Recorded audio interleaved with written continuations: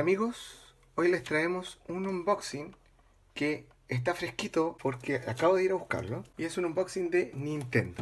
Ahí parece que se alcanzó a ver algo de lo que es. Son tres objetos que los compramos en Zetamar, aunque estaba ya se había agotado después de que lo encargamos. Eh, de todas formas voy a dejar el link de compra en caso que se reponga o para que puedan ver, a lo mejor quieren solamente uno de los ítems. De hecho venden uno de estos, estos son lo mismo, junto con este eh, en un pack o los venden todos separados. Este es el que salía más conveniente y por eso aprovechamos este. Para separarlos y empezar a hacer el unboxing.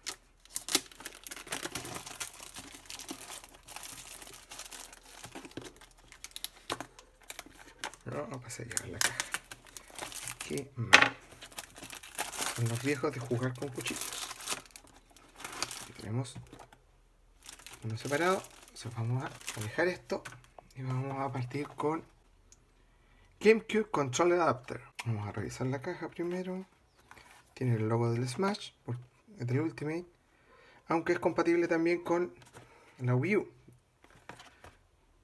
Ahí sale cómo conectarlo. Sale que es compatible tanto con Wii U como Switch. Eh, entonces sería poder probarlo en estos días con la versión de Wii U. Preparándonos para diciembre, creo que es cuando sale la versión para Switch. Bueno, ya se rompió la caja.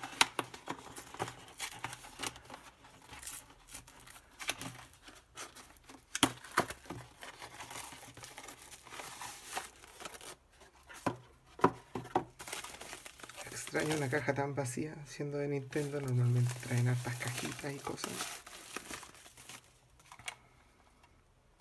Ahí está, los conectores.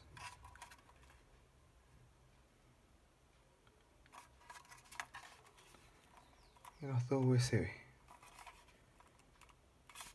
Ahí se ve que dice Nintendo en todas partes. Nintendo no quiere que nadie se confunda. Esto podría ser reemplazable, no me gusta. Y ahora que ya tenemos el adaptador, partir por la irí. Y es un GameCube Controller. Edición de Super Smash. Ahí dice que es compatible con GameCube, Wii, Wii U, Nintendo Switch. Así que vamos a poder probarlo. Bueno, al menos nosotros tenemos solamente estas tres consolas. No tenemos, nunca tuvimos GameCube. Pero la verdad es que el objeto ahora es probarla con la Wii U para después usarla con la Switch cuando salga la nueva versión de Smash. A pesar de lo anterior, vuelvo a intentar con el cuchillo. Esperemos esta vez no dañar nada que no queramos dañar.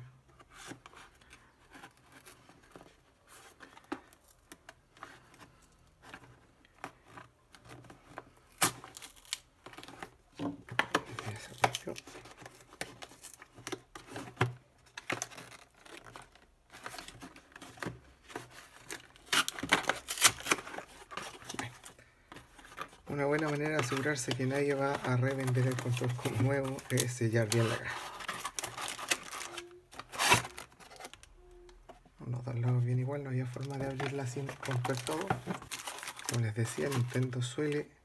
Por eso me extraño que este no tuviera tanta cajita. Suele traer harto cartón, harto empaque.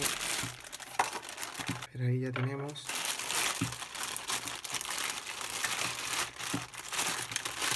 poquito más de plástico que solamente sirve para contaminar. ¿Qué uso le podemos dar a esta bolsa? Ninguno. Y ahí está el control.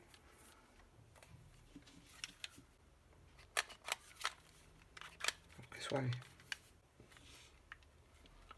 Siempre me llamó la atención lo el diseño de este control, que no es, no es.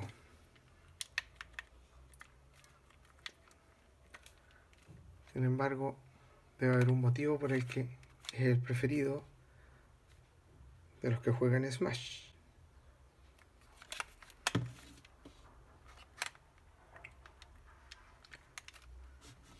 Y para terminar de abrir el nos faltaría el último GameCube controller, que es igual que el anterior.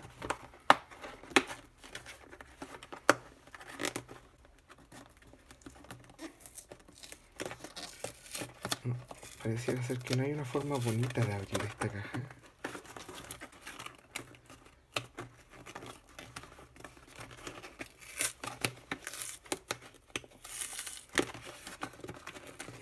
Mucho pegamento en la tapa.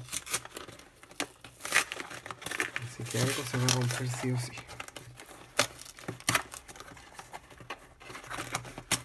Menos pareciera menos dañada que la última.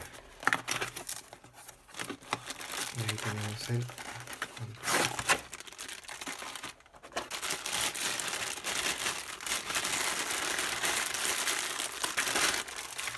idéntico a su hermano.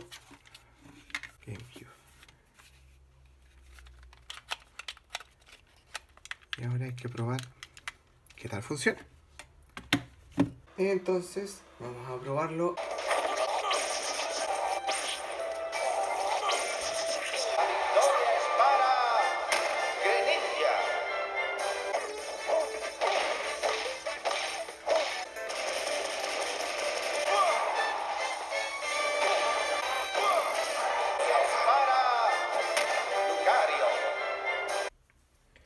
Ya habiéndolos probado, voy a abreviar un poco. Todavía no me acostumbro a usarlos. La verdad es que el orden de los botones eh, me parece igual un poco antinatural. X, Y, A, B. Hay que acostumbrarse.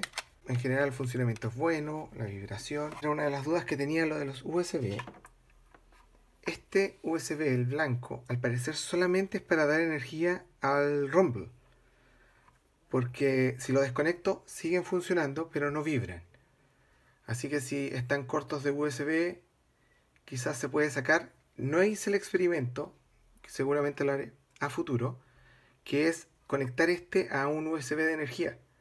Porque quizás si solamente entra energía por acá, podríamos hacer que vibre sin la necesidad de ocupar un segundo USB. Otra cosa que me llamó la atención es que mientras que en Wii U solamente detecta el control una vez que estás dentro del Smash.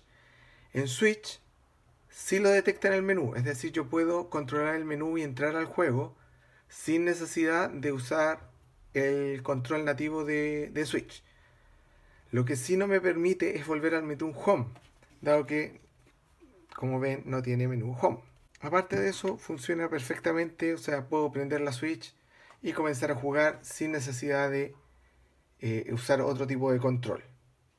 Aunque claramente voy a necesitar usarlos porque solamente tenemos dos controles.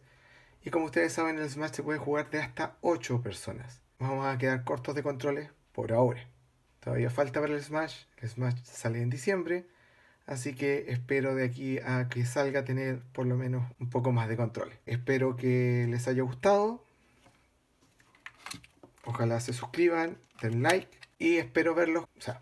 Espero que me vean en un video pronto. Adiós.